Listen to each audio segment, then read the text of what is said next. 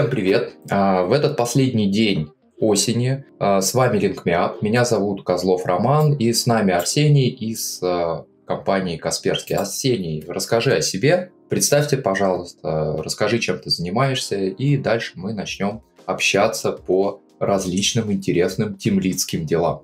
А, спасибо, Рома. А, да, всем привет. Меня зовут Арсений. Сейчас я тимлид а, в лаборатории Касперского в команде, которая занимается инструментами разработчика для Касперский ОС. Кто не знает, Касперский ОС — это такая операционная система, которая делается у нас в компании. Она очень сильно отличается от всего остального. Это не Linux какой-нибудь, там ядро мы пишем сами, и система сильно по-другому работает, заточена на безопасность, все дела. Ну и поэтому есть вот целый отдел, который занимается инструментами для разработки под нее, чтобы разработчику было удобно э, жить, работать. Вот, э, соответственно, Шел я к этому, в общем, достаточно долго, наверное, суммарно э, там где-то лет 12 опыта сейчас в разных сферах. Э, наверное, немножко расскажу про свой бэкграунд, коротко. Вообще, начинал я с э, работы на стажировки на оборонном предприятии. Э, значит, когда я еще был студентом, там, классе в... Ой, э, в курсе на третьем. Естественно, его там... нельзя называть, правильно? Да, на самом деле можно. В LinkedIn я, во всяком случае, написал, он, по-моему, настроение в Реутово, да. Занимался я там всякими интересными штуками, про которые не буду подробно рассказывать. Хотя какие-то какие вещи прикольные могу рассказать, не связанные ни с чем секретным. Интересно, что до НПО машиностроения мне примерно полтора километра. Что... Да, я, я, кстати, видел где-то, не помню где у тебя в соцсетях, трек прямо вокруг НПО машиностроения. Да, да, да, в, в, в Телеграме. Не, это не велосипед, это бег. А, это... О, неплохо. Там же, ну, вообще там трек, э, сколько там, километров? Э, 10. 15? А, ну вот, да. Неплохо, неплохо. Вот, ну, собственно, да, я там провел много времени, э, потому что студентом я там стажировался года три, еще год поработал на полную ставку после. Потом понял, что не совсем мне все это нравится. Э, ушел работать в МГУ, собственно, в стартап, который был связан с космическими исследованиями. Делали мы там ПО для спутников. Э, в основном, э, собственно, там писали на C-Sharp, плюсах, на питоне. Вот, было очень интересно. Вот, в отличие от завода, там было гораздо как бы свободнее в плане того, что хотя бы был интернет, хотя бы была сеть. Потому что на заводе мне приходилось носить комиты на флешке, например. Вот, было забавно. Понятно. А у тебя твоя работа вот именно и на заводе, и в МГУ, она была связана с каким-то языком, или ты сразу был мультиязычным? А, да, ну, собственно, в NPOMation строение в основном мы писали на плюсах, еще когда я был студентом, там стажировался. Это вообще очень популярно именно в российских, э, как бы и научной сфере, да, и в сфере вот э, инженерии использовать именно плюсы, даже там, где они совершенно неуместны на самом деле, на мой взгляд. Э, вот, и, соответственно, когда я пришел в МГУ, я там тоже писал на плюсах, но там еще используется C-Sharp активно. Вот мне повезло, до сих пор вот горжусь немножко даже своей работой. Э, мы делали ПО для спутника, для EGPSAT, он до сих пор летает. Угу. Вот, и там был софт для управления этим аппаратом, э, который работал на Земле, в ЦУПе, в Центре управления полетами. И вот этот софт мы писали на C-Sharp. Ну, это как бы был бэкэнд для веб-сервиса, которым, собственно, инженеры пользовались. Ну, соответственно, да, вот э, к этому моменту получилось э, там полноценно, наверное, три стека попробовать. Python, плюсы, C-Sharp. Понятно. Разговор про космические корабли внезапно повернул реально в космическую сферу. То есть обычно мы э, так э, шутим на тему того, что вот всегда разговариваем разговариваем про какие-то сверхвысокие технологии, а в итоге возвращаемся к своей там шестерке ВАЗ-2106, которая стоит у нас в гараже. Хорошо, расскажи конкретно, а, чем ты сейчас занимаешься, то есть как ты а, дошел до тимлицкой жизни. Ну да, собственно, э, я, конечно, попал в Касперский ОС, э, ну, в, Касперск, лабораторию Касперского не тем лидом. Я пришел туда просто плюсом разработчиком, причем э, на такую достаточно, наверное, интересную, нетипичную должность. Я не так много писал на плюсах, как строил SDL-процессы. Ну, SDL — Security Development Lifecycle. То есть мы там внедряли динамический анализ, статический анализ, прогон тестов по санитарам, код coverage и многое другое, да, то есть чтобы автоматически проверять качество кода. Звучит как, ну, странно, да, вроде все это уже придумано до нас, пожалуйста, там за неделю можно все настроить на всех пайплайнах, но так как Касперский ОС э, своя собственная операционная система, то стандартный тулинг просто так по идее не работает, то есть нужно где-то написать скриптов, где-то разобраться с тем, почему э, работающий у всех инструмент не работает у нас, где-то что-то портануть и так далее. Арсений, а Разумеется... а можешь дать немножко больше контекста про Касперский ОС? Ну, то есть, э, во-первых, э, для наших слушателей это будет тоже действительно интересная э, часть нашего разговора. То есть, во-первых, э, почему именно не взяли Linux, как берут его все? Это есть какой-то ответ на этот счет? Конечно, да. Ну, можно взять Linux, это вполне валидный путь, ничего плохого в этом нет. Э, если вы хотите сделать какую-то безопасную операционную систему, то есть вы можете взять Linux, накрутить на него политики, там все Linux настроить, многое другое, и получить, ну, наверное, достаточно безопасное решение. Вот. Я, на самом деле, вот прям а, не супер безопасник, чтобы критиковать, поэтому буду говорить, что это нормальный подход. Вот, но всегда есть идея не, не брать э, ну, потенциально небезопасную систему и накручивать сверху значит, э, какие-то политики, а сделать операционную систему с нуля, где безопасность будет стоять во главе как бы, разработки с самого начала. То есть, например, если Linux это Э, монолит, да, то вот Универсальная нас... операционная система для работы много с чем. То есть здесь, я так понимаю, подход безопасная операционная система. Так точно, да. То есть безопасность важнее всего остального. То есть у нас два процесса по умолчанию друг о друге ничего не знают, не имеют доступа там ни к никаким драйверам, ни к сети, и по умолчанию вообще как бы ничего не могут делать, пока явно в политиках э, зачастую вообще на уровне компиляции не будет указано, что конкретно ему вообще можно. То есть у нас условно может быть три процесса, один из них умеет писать на диск, второй процесс умеет ходить в интернет, третий процесс там, я не знаю, э, между ними просто какие-то взаимодействия между первыми двумя там по IPC производят. Ну и таким образом можно построить безопасную архитектуру. Конечно, если просто взять Касперский ОС и начать писать, как обычно, никакой безопасности не получится, это не какая-то волшебная таблетка, просто эта операционная система позволяет э, за счет политик и правильной безопасной архитектуры действительно построить э, безопасное какое-то решение. Ну, тут есть целый термин кибериммунитет, про него можно почитать, и там более хорошо разбирающиеся в этом люди все подробно описывают. Хорошо, ну давай вернемся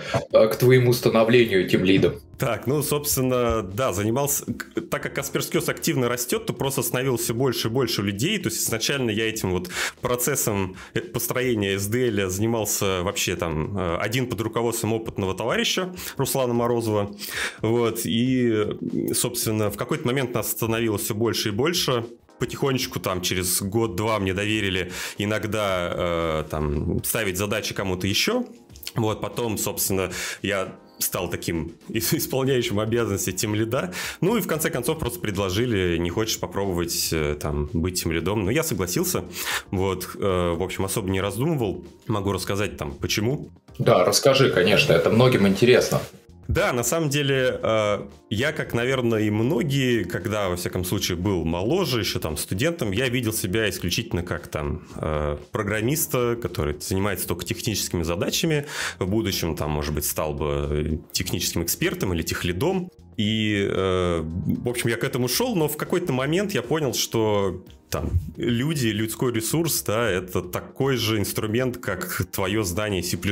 Умение построить работу инженерной команды зачастую это тоже инженерная задача. И, ну, и, собственно, когда ты делаешь какой-то продукт, то ты начинаешь мыслить уже не о какой-то там одной таске, а, ну, вот именно о продукте, тебе интересен результат, то возможность ускорить свою работу за счет того, что у тебя есть коллеги, которыми, э, которым ты можешь ставить задачи, она показалась мне в какой-то момент очень привлекательной. И, э, ну, как-то вот через это, да, мне стало это очень интересно. Конечно, поначалу у меня очень много чего не получалось, до сих пор, естественно, очень много чего не получается. Тут еще э, там 5% пути пройдено, вот, ну, в общем, пока что... Не, не скучаешь по инженерии? А, а дело в том, что я ее и не оставил. То есть я, как называю, что называется, как бы играющий тренер, ну или там слишком громко сказано, ну, в общем, да, что-то в этом роде.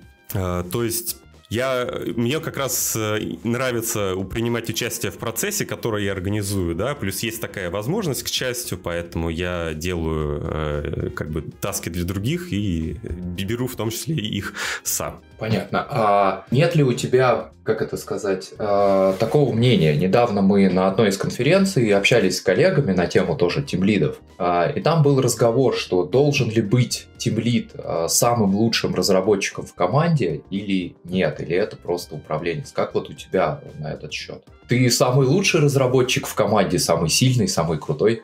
О, это очень хорошая тема. Тоже прошел много стадий принятия того факта, что э, не просто в команде может быть кто-то лучше, а в команде по-хорошему должен быть кто-то лучше. Есть э, даже вот вспоминается доклад такой очень классный, вот, по-моему, Анастасии Абрашитовой, называется он э, «Самый шерстяной волчара», что-то такое. По-моему, он мой есть на ютубе, можно его... А где, где э, на каком это мероприятии это было? Это было на Team Lead Conf 2022 или 2023, ну, в общем, вот которая не, не последняя, а предпоследняя. Короче, вот. коллеги, YouTube, Team Lead Conf 2022, 2023, там можно послушать еще на тему. Угу. Это вообще там одна из самых, наверное, хайповых, ну не хайповых, а э, такая... Э, э, ну, в общем, спорная тема именно касательно Тимлида. Должен ли он быть самым лучшим программистом? Мой ответ простой как повезет. То есть, если, если вы смогли найти разработчика, который лучше вас, ну, это же здорово. Конечно, вы что, его не будете брать? То есть, скажете, ну, извините, там, Overqualified, вы пишете код лучше, чем я, я не могу вас взять. Но это явно не продуктовый подход, тем я, я, я, я буду очень сильно стесняться, когда вы будете делать код-ревью мне.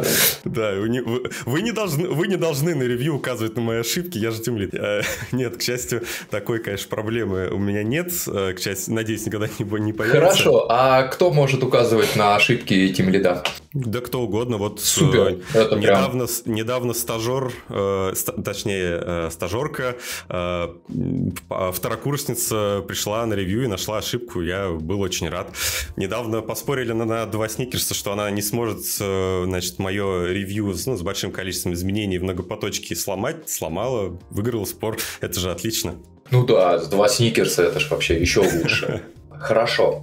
Почему, как тебе кажется, быть тем лидом круто? Ну, собственно, ну, как я сказал, да, это возможность бустануть свои возможности как технического специалиста. Может, это очень холиварно, но вот я на это до сих пор смотрю так. То есть, условно, если у меня есть какая-то идея, которая жгет и хочется ее реализовать, но у тебя при этом есть там, еще пяток таких идей, то если ты просто, э, значит, э, технический специалист, то ты можешь вообще в итоге ни одну из них не реализовывать, потому что тебе задачу поставили другую. Вот. А тут у тебя и появляется, во-первых, ресурс э, как бы административный, ты можешь э, как бы руками других, других людей это что-то делать, там, этот, как бы э, убедить их, что это тоже круто, там, или просто задачу поставить. Вот, ну и, э, ну, в общем, да. То есть в, есть такая книга, как «Пасти котов», по-моему, называется, и там э, было такое высказывание, что люди — это основной э, такой ключевой момент процесса разработки ПО, да, то есть если тебе интересно разрабатывать ПО, то как бы им тем лидом тоже, скорее всего, должно быть интересно. Вот такое у меня мнение. А как ты считаешь, по есть ли это выход а, из проблемы того, что у любого технического специалиста, ну, берем разработчика, берем просто какого-то человека, который занимается эксплуатацией, есть порог по заработной плате. То есть, есть ли в этом вариант а, того, что переходя на ну, скажем так, местами управленческую должность, этот порог по заработной плате можно превысить? Я считаю, что это неправильно. То есть я знаю очень много технических специалистов, которые в нашей ком- компании гораздо полезнее компании, чем многие менеджеры, uh-huh. в том числе и там высокого звена. А, это абсолютно нормально. То есть, э, соответственно, я не, дум- не считаю, что здесь должна быть корреляция. То есть я э, думаю, это абсолютно нормально, если у меня там в команде э, был бы, будет или был, значит, технический специалист, там, сеньор, который бы не стал в свое время тем лидом и сейчас зарабатывает больше меня это нормально. Он в своей сфере не менее важный, чем моя, при, приносит компании больше денег. Это правильно, так может быть. Ну, а все-таки я здесь скорее про тимлиды, про тимлиды, я скорее не про менеджеров. То есть э, с, этой точки зрения э, у нас получается, что условно э, есть человек, который хорошо и круто пишет код, но есть тимлид, который руководит написанием этого кода с большим количеством людей. А также отчасти этот тимлид занимается тем, что придумывает новые фичи и продвигает их.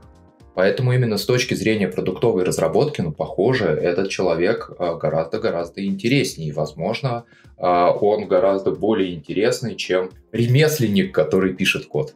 То есть это как мастер над ремесленниками. Ну, тоже не совсем, наверное, согласен. То есть, э, опять же, тимлиды могут быть разные. Э, может быть, слабый тимлид, который, э, ну, просто минимум своих обязанностей выполняет, там, не знаю, как скрам-мастер максимум, там, и все. Да, а есть тимлиды, которые, да, могут и то, и то делать. Так же, как и индивидуальные контрибьюторы. Я знаю, у нас в компании есть, значит, ребята, которые, будучи техническими контрибьюторами, отказавшись от пути тимлида или менеджера, кстати, это надо еще обсудить что да. такое тимлит и как он соотносится с менеджером, это очень сложный вопрос. Соответственно, да, есть вот техни- э, индивидуальные контрибьюторы, которые приносят э, в том числе и новых идей э, больше в компанию, которые находят технические решения там, где, казалось бы, э, все уже придумано. Вот, и у меня таких примеров тоже много. Хорошо. А, а какой путь у вас а, в компании, а, вот именно курс молодого бойца или какие-то еще варианты именно получить именно эту экспертизу, потому что зачастую технические специалисты, они развиваются совершенно по другому пути. И для нас на самом деле управление не характерное. То есть это как раз-таки из-за этого именно среди технарей найти крутого управленца, это прям стоит много времени да. Это большая проблема, что часто делают э, управленцами технарей, которые, может быть, и не хотели бы это этой должности и не умеют этим заниматься. Э, думаю, что и у нас там такое тоже случается. Ну, у нас как эту проблему адресуют? У нас есть действительно курс молодого бойца. Это такой курс, по-моему, идет он пару месяцев или вроде того. Э, соответственно, там на четырехчасовые как бы курсы ходишь раз в неделю, и тебе рассказывают, как правильно вообще с этим работать. Вот, то есть компания в данном случае никого в огонь не бросает. А насколько длительные эти курсы? Ну, то есть вот ходишь там какое время? Э, я подзабыл, но, по-моему, месяц или два. То есть, угу. ну, скорее два, наверное. Вот. Ну, это, это в отделе уже условно работы с персоналом происходит. То есть, э, есть квалифицированные да. люди, которые э, тренера, то есть, да. обычно здорово. Ну, то есть, это приглашенный специалист, ну, относительно известный, то есть, он еще много где э, что-то делает по этому поводу. И он просто нас, да, обучал. Какой ты видишь идеальный вариант по становлению тимлидом и вообще по пути тимлида? Ну, Хороший вопрос. Э, я тут, наверное, слишком старомоден. Наверное, тоже холивар, конечно, холиварный вопрос. Но я думаю, что э, хороший тимлит, он должен быть э, как бы хорошим, с техническим специалистом в той области, в которой он становится тимлидом. Конечно, это не обязательно, да, это, повторюсь, холиварное, холиварное мнение. Но а ты, кстати, встречал обратную ситуацию? Ну, все тем лиды, которых я знаю у нас, они сначала были не тем лидами в этих же командах, э, пожалуй. Ну, да, я могу себе представить обратную ситуацию, так скажем. Я потому что встречал только э, в схеме другой. Я встречал, когда условно человек мог становиться проект-менеджером, но не тем лидом. То есть, если он не сильно глубоко знает э, свою предметную область. Я вот такие э, варианты встречал. То есть встречал еще варианты, когда проект-менеджеры совсем не знают свою предметную область, и зачастую это ну, достаточно сложный и тяжелый процесс э, в рамках команды. А, а когда это прям реально техническая команда, все, что я встречал на своей памяти, это когда действительно кто-то из команды вырастал. Кстати, а тут тогда возникает следующий вопрос, а может ли быть это приглашенным тимлидом? Ну, то есть вот человек, который не вырос у тебя в команде, то есть я, потому что в большинстве своем все, что я вижу и все, что я встречаю, это человек, выросший внутри команды. То есть или который пришел в команду, а потом постепенно э, стал тимлидом. Я думаю, что это вполне возможный и нормальный сценарий. То есть, э, как бы тимлидство это такая же профессия, да, она, может быть, требует большей вовлеченности, но, как бы, ну, сделайте собесно, не знаю, э, из пяти частей вместо четырех там или в два раза больше, как у вас, и проверьте то, что вы хотите. Ну, короче, не вижу здесь проблем. Но единственное, я хотел бы, мне кажется, пора уже как-то раскрыть карты, как, что мы подним, понимаем под тем лидом, потому что я уже чувствую, что немножко разные вещи. Э, я скажу так, что в нашей компании Team Lead и э, менеджер это сильно разные э, должности.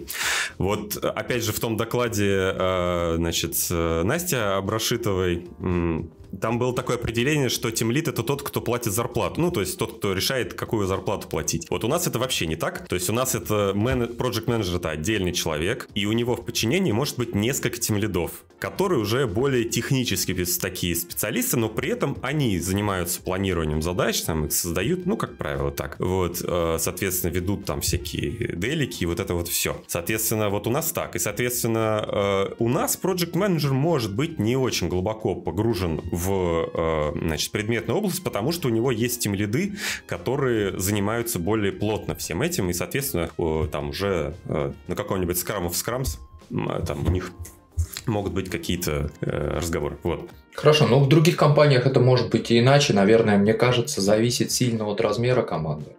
То есть, возможно, если команда очень маленькая и продукт небольшой, то есть который не требует там, десятков команд, которые должны взаимодействовать, мне кажется, может Team Lead совмещать в том числе и должность проекта. Вплоть до должности и хозяина продукта. Ну да, да. У нас вообще были случаи, когда человек проходил все три стадии, там приходил тем лидом, развивался там условно до менеджера э, команды, а потом передумывал и становился менеджером продукта. Да, есть такой случай. Хорошо, а может ли быть ситуация, когда наоборот не хочешь становиться тимлидом? Было ли у тебя такое, именно такой момент в жизни, когда ты такой, блин, вот это все управление, хочется просто классно писать код? Это как бы тоже абсолютно нормально. У меня такого, пожалуй, всерьез не было. То есть я обдумал такие варианты, и они всегда, всегда их отвергал. Вполне может быть... А почему здесь... отвергал? Ну, потому что мне нравилась та ситуация, в которой оказался, и нравилось то, что я делаю, да. Ну, понятно, что ничто не вечно, и когда-нибудь я могу передумать и стать обратно чисто техническим специалистом. Для этого, конечно, нужно не растерять, не растерять хард-скиллы, вот, но это возможно. И, опять же, такие случаи знаю, э, как бы ребята, которые были даже не тем лидами, а аж project менеджерами, а потом возвращались, становились, э, как это у нас называется, не тех лидами, а у нас это называется, э, значит, эксперт, вот, угу. технический эксперт. Ну, то есть это высокоуровневый да. Э, технический специалист. Да. Очень здорово. Хорошо. А, ты уже упоминал, что пишешь не только на плюсах. А, у тебя а, опыт, я так понимаю, в разных сферах а, языках программирования. Расскажи, во-первых, какой стек языков, стек технологий у вас применяется и почему это так? Да, хорошо. А, тут на самом деле тогда да расскажу, к чему я в лаборатории Касперского пришел, потому что да, и вот я пришел заниматься SDL, а потом потихонечку сдвинулся вот в сторону э, чисто инструментов э, для разработчика, то есть мы делаем эмулятор, мы делаем плагин для VS Code и делаем еще набор утилит консольных, ну такой э, единая точка входа для разработчика, когда он скачал SDK для разработки под Касперский ОС, и у него там есть удобная CLI-утилита, через которую он может сгенерировать там Hello World World какой-нибудь, собрать его, тесты в нем запустить и вот это вот все. Ну, то есть такой набор инструментов под все нужды в идеале. Занимаемся мы этим полтора года, еще находимся, в общем-то, в начале пути, да, то есть там очень много работы. А, соответственно, так как инструменты разные, то и языки у нас тоже очень разные. То есть мы делаем э, эмулятор на основе Кему, э, Quick эмулятор, мы его форкнули, делаем ему красивый интерфейс. Соответственно, сам эмулятор написан на C, мы делаем для него обертку на Qt и C++, соответственно, мы используем. А так как мы хотим переиспользовать логику из других наших э, значит, компонентов, которые в основном написаны на питоне, то мы еще и питон там используем. Вот. То есть мы, наверное, одни из немногих людей, которые в плюсовом коде используют питон тонячий, а не наоборот. А с чем это связано? Скорость разработки? Да, это связано с тем, что нас не так уж и много, то есть э, нас сейчас, ну там, по-разному можно считать, но, так скажем, 8 человек угу. на несколько продуктов. То есть какое-то время продуктов было больше, чем людей, сейчас хотя бы людей стало больше, чем продуктов. А, то есть у вас внутри операционной системы еще есть, э, ну вот, некая платформа виртуализации, правильно Конечно, да. Э, да, то есть так как Касперский ОС это не self-host, это операционная система, в том смысле, что нельзя в Касперский ОС собрать, запустить компилятор, да, и собрать приложение под Касперский ОС. Угу. Нужно иметь хостовую машину, обычно, ну, в данный момент это машина на Linux, там иметь набор удобных инструментов и там через кросс-компиляцию что-то собрать под э, Касперский ОС. При этом, конечно, нужно иметь удобный эмулятор, чтобы это все не всегда на железке запускать, да и нужны утилиты для работы с железкой тоже, нужен нормальный VS Code там или IDE-шка какая-нибудь. Ну и вот все, все, все вот это вот мы закрываем, чтобы было не больно под это разрабатывать. Титанический труд. Ну, э, тут главное как-то себя, ну, какой-то скоп держать, потому что, естественно, когда мало, мало чего сделано, то руки, э, как, глаза разбегаются, да, работа распыляется, тут надо как-то, да, концентрироваться. А на темы как раз э, многоязычия не распыляется ли взгляд? И нет ли проблемы с тем, что, условно, есть человек, который имеет супер экспертные э, навыки, ну, допустим, в плюсах, а, и когда он начинает лезть в какой-то другой язык а, программирования, он может частично терять, а, скажем так, взгляд на там, то, чем он занимался ранее. Нет ли в этом проблемы? Безусловно, есть. Безусловно, есть. То есть, конечно, если ты там за неделю успел пописать на плюсах там TypeScript, который у нас тоже немножко есть из-за VS кода э, и питоне, то, конечно, ты будешь э, меньше получать э, вот знаний по конкретной технологии, чем кто-то, кто просто писал на плюсах в неделю, например, да. Э, насколько это проблема или нет, это зависит от человека. То есть, вот э, есть такой термин э, M-shaped, T-shaped, I-shaped люди, да, то есть люди, которые развиваются там в нескольких направлениях, только в одном и немножко знает про другие, и которые только в одном.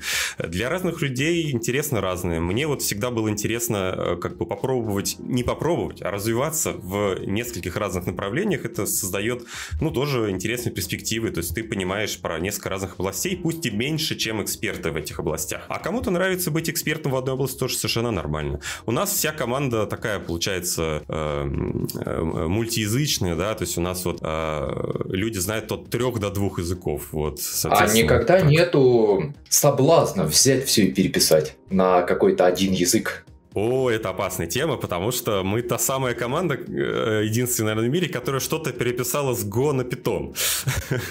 Что, наверное... В обратную сторону, ага. Да, да, да. Что, наверное, карается, да, как-то в сообществе. Могу объяснить, почему. Э, Тут, на самом деле, чисто такое бизнес-решение было, я бы сказал, потому что нам достался компонент от другой команды, написанный на Go. Э, там все было хорошо, ребята все классно сделали, и выбор технологий был хороший, никаких вообще проблем.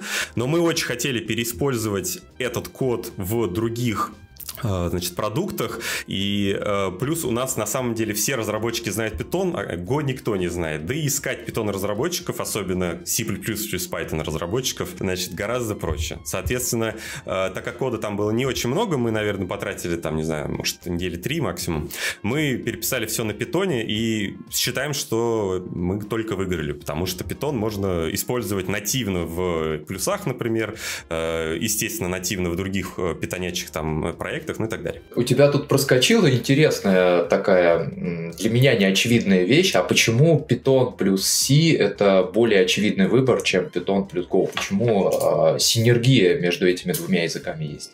У нас основной интерпретатор Python это CPython. Uh-huh. Есть, собственно, Python C API, то есть вы можете в плюсовом коде или в C-шном э, там сделать include python.h и все. И вы дальше можете импортировать модули, запускать функции, и э, вы можете статически слинковаться с Python, если хотите, с Python, и, соответственно, у вас даже там не будет требования к клиенту, чтобы у него там на машине стоял Python. Э, ну или хотя бы вы можете взять с собой там или Python, и тоже все будет работать. Ну, то есть э, здесь просто очень очень прямая связь из-за того, что Python на самом деле, э, ну, так скажем, написан, да, на C.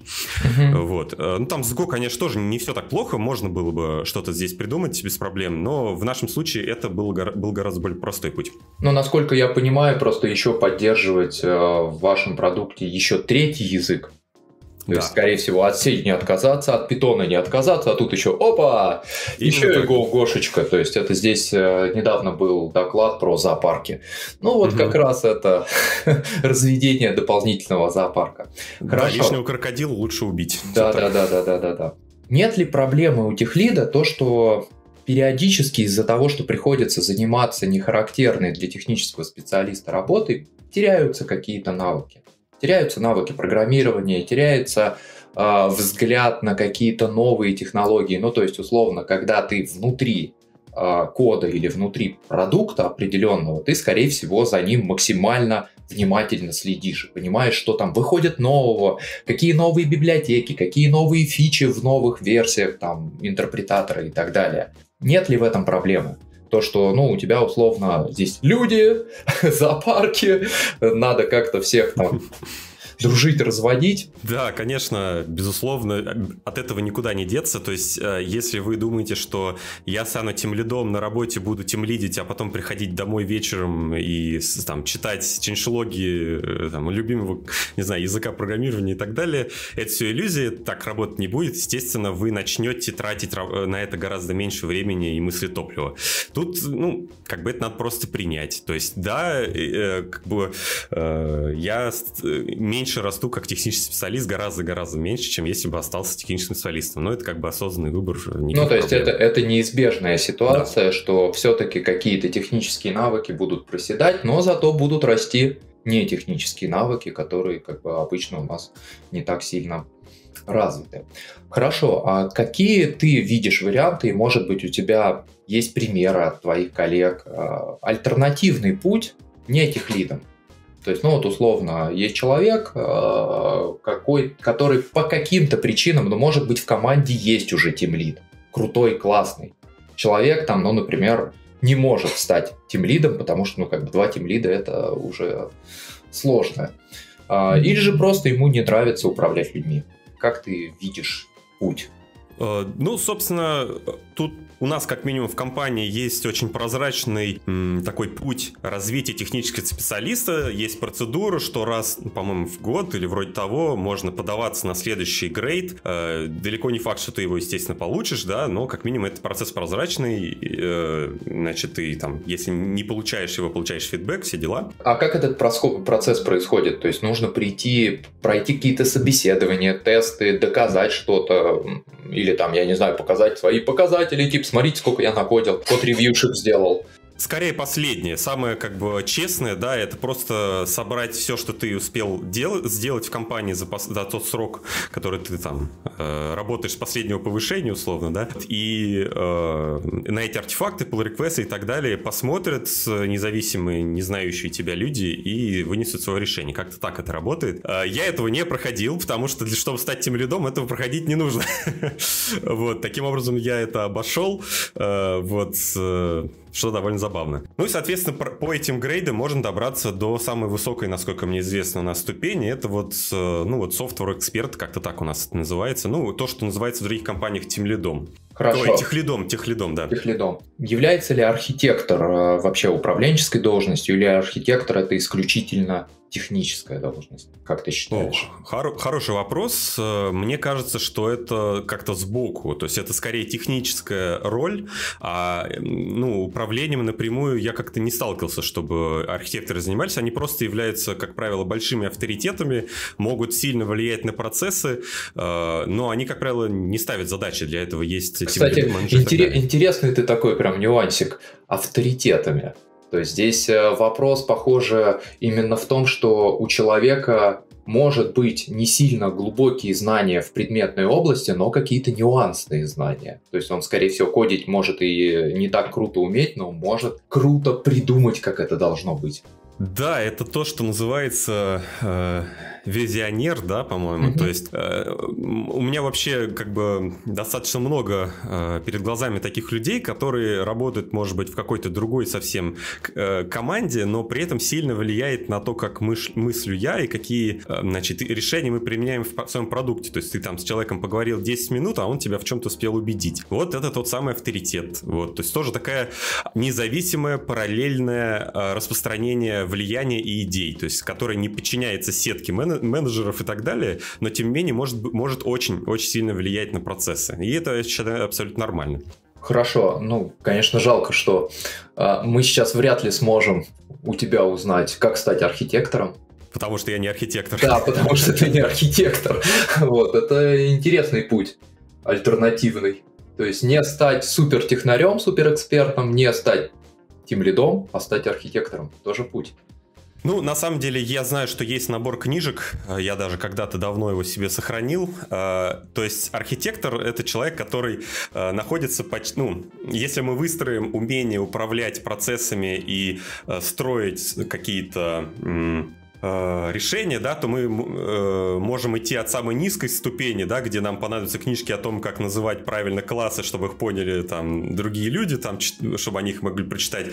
Потом там будет уровень, который э, будет учить нас, там, не знаю, э, правильно проектировать там, как, э, там отдельные программы. Потом нам понадобится э, уровень, где мы будем проектировать связи между системами. Ну а в конце у нас там будет уровень, э, где мы управляем управляем там целой компанией уже и бизнесом и так далее. Ну, кривовато объяснил, но, в общем, я uh-huh. видел такую очень полезную подборку книг на каждый из этих уровней. Соответственно, архитектор — это человек, который дошел до почти самого конца. Он как бы разобрался с первым, вторым, и вот он сейчас на третьем уровне. Ну, как-то так переход, переход этот на темную сторону все ниже, ниже, ниже, в, в нижние слои сумрака. Да, то есть это переход по уровню абстракции, да, почти до самого верха. А что может идти не так в карьере тимлида? Много чего, в том числе на своем опыте могу сказать. Ну, самое, э, самая первая, э, наверное, проблема, она, наверное, как бы в самом начале может настигнуть, если, если вы пошли в тем лиды просто за деньгами, да. К сожалению, это часто происходит, э, ну, вот в нашей компании нет, а так вообще это часто происходит. Вот, человек даже может не знать, там, если бы он остался техническим специалистом, может, мы там тоже когда-нибудь повысили так зарплату, он этого не может там заранее, может, узнать. Вот, ну, в общем, это проблема, потому что это плохая мотивация? Мне, мне почему-то кажется, что а, это в принципе плохая мотивация. Если вы пошли куда-то работать ради денег, или если ваша компания существует только ради денег, то мне кажется, в целом это достаточно плохая мотивация. То есть вот, ну, например, как сейчас эта реклама, типа, в IT много денег, иди в IT, будет хорошо. Ну, мы все знаем, что из этого получается, какие результаты. Вот с последним очень согласен. Э, с остальным частично, да, то есть для бизнеса мотивация заработать денег, наверное, нормальная. Нет, это не должно быть самой краеугольной мотивацией. То есть у бизнеса должна быть еще какая-то идея помимо денег. Деньги прикладываются уже к твоей крутой и классной идее. То есть, там, а, ну, ну например, да. то есть э, сначала идея, что мы делаем, а дальше уже на эту идею, ну, как я это себе вижу, это мое личное мнение, должны приходить деньги. а не так, что а, денег хочу, что у нас там есть? Так, импортозамещение у нас сейчас есть, вот мы туда и пойдем, там есть лучшие деньги вообще просто. Ну, естественно, так оно как это, мне, мне кажется, это такой темный путь, не тот, да. по которому нужно идти. Да, здесь там, совершенно согласен, конечно. Ну да, то есть вот первая проблема это если вы пошли туда ради денег, а на самом деле вам это не нравится. Вторая проблема это если вы не умеете управлять своим временем и как бы роль тем лида, она почти всегда готова как, э, э, значит, как газ, да, за, за, занять все свободное пространство и все ваше время. Если вы не умеете там в 8, в 7, кто во сколько часов закрыть ноутбук и пойти спокойно дальше жить, то вам может очень быстро стать очень плохо плохо. Это, то есть Team это такая же работа, и даже если тебе, тебя что-то хотят там в 10 вечера, да, ну, надо уметь как-то останавливаться. Вот. У меня у самого с этим проблемы очень большие, поэтому я знаю, да, о чем говорю. То есть очень можно быстро сгореть. Вот. А, ну, отдельно можно сказать, что если вы не очень уверены, да, и через несколько лет вы захотите вернуться в, ну, именно в роль технического специалиста, да, индивидуального contributor а, вот это вот все, то может быть там тяжеловато, потому что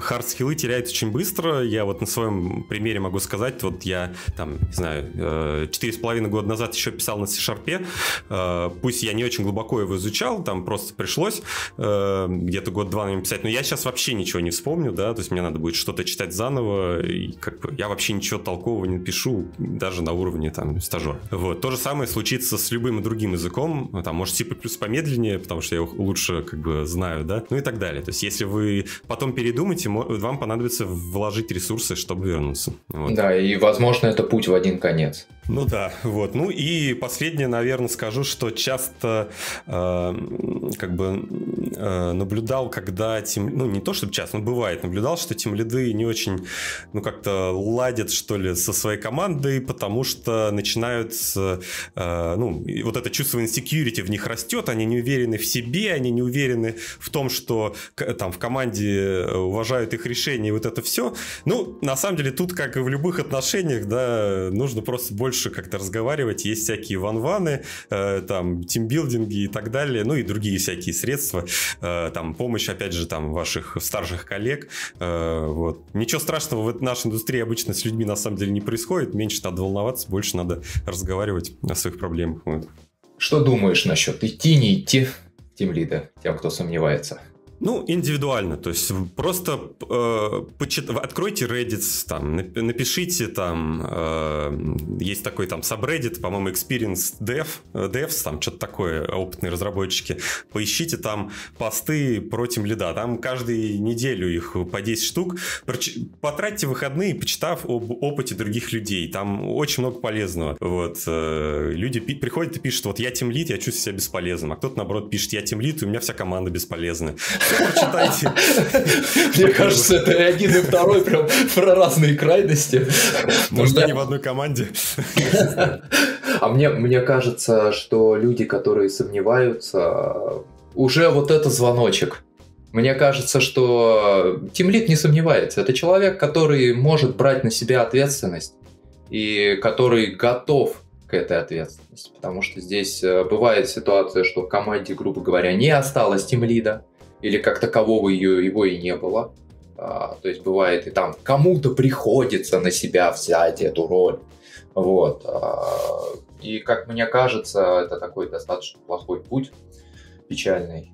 Но Тут, при... кстати, очень, да, сори, очень соглашусь, неуверенность очень большая проблема. Я сам часто себя подлавливаю на том, что я не понимаю, какое решение принять, и эм, это очень большая проблема. То есть надо уметь, э, тоже вот в какой-то книге было, э, что э, там тимлит, он должен быть, не помню, там английское слово, decisive, что ли, что-то такое. В общем, принимающим решение. То есть лучше... Да, лучше ошибиться, чем сомневаться. Да. Это одна из таких ключевых особенностей, которую я в себе тоже выработал в какой-то мере. Я тоже коллега. Вот. Ситуация, да, в том, что не бойся сделать даже неправильно неправильное решение и неправильный выбор. Потому что сомнения, они могут быть э, гораздо более плачевными для всех.